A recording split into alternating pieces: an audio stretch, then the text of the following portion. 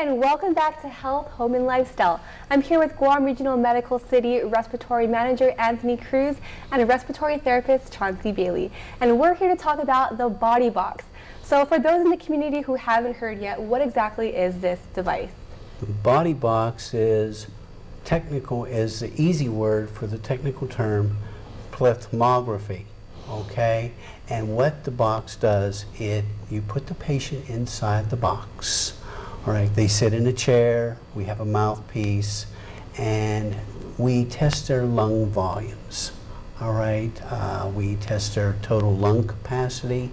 We help to, uh, by doing various tests in this box, to help diagnose their um, pulmonary disease or what extent their pulmonary disease is. So I understand this is the only box on island, and so there is a partnership between GRMC and other hospitals such as GMH and Naval Hospital. That's correct. We're on a joint effort with uh, GMH and Naval because they don't have the body box. So I've brought them on staff uh, to, to be a part of it.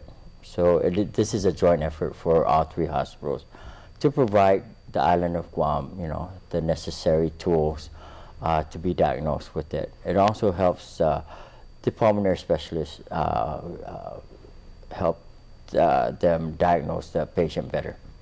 Okay, and so you mentioned that this particular device looks at um, pulmonary diseases such as asthma, COPD. So are these types of diseases very common here on island? Well, yes, determining, you know, many of the island people smoke okay? And smoking is a big cause of pulmonary disease, and this helps us uh, diagnose those issues. Okay, and so I actually visited you over at GRMC the other day, and I got a chance to get inside this box, sit inside, and see what the patient actually goes through.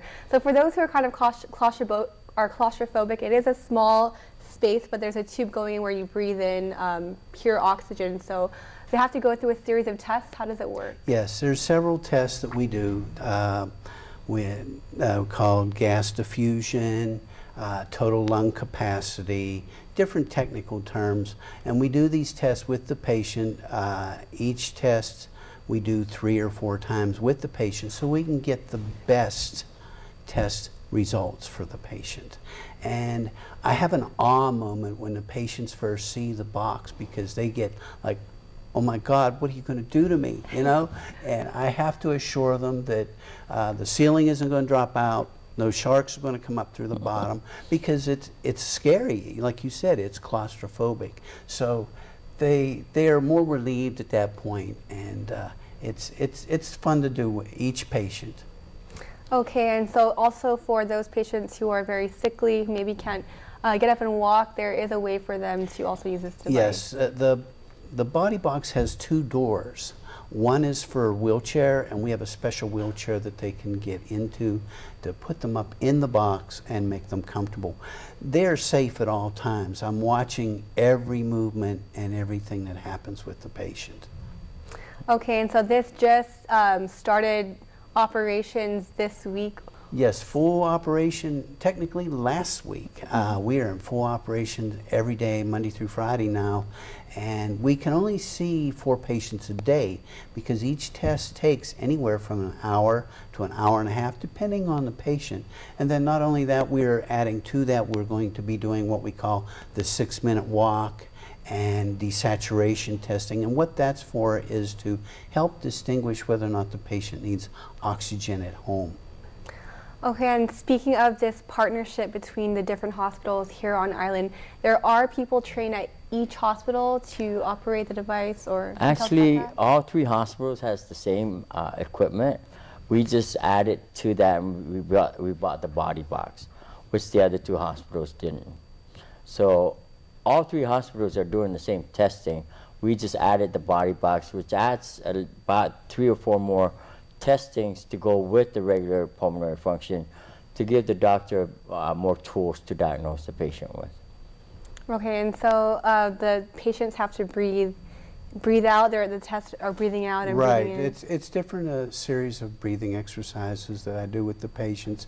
Take deep breath in and blow it out, and they're like, You know, and some people don't have it at the extent of that whatever their disease is. You know, they can't, they don't have the ability to blow out or to breathe in. And that's where the doctor diagnoses the issues that the patient may have. And as Tony was saying, Anthony was saying about the cooperation with the other hospitals, the three of us will be working together because they want to learn the body box, and the three of us together working and learning together uh, our skills with each other, which is a really good thing, and I appreciate Anthony's effort on that uh, for, for us because it just makes us all better and it, better to serve our patients. All right, well, thank you again for all your work that you're doing. I know it is a big problem. Actually, my sister has asthma, so thank you again. Hopefully, she can get checked at the body box at GRMC. Right. All right, any final comments?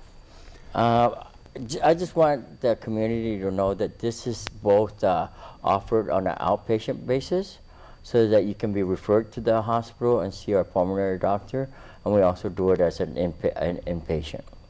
All right, thank you again so much for joining us. Thank, Thank you. Well, stay tuned. We'll have more health, home, and lifestyle after the break.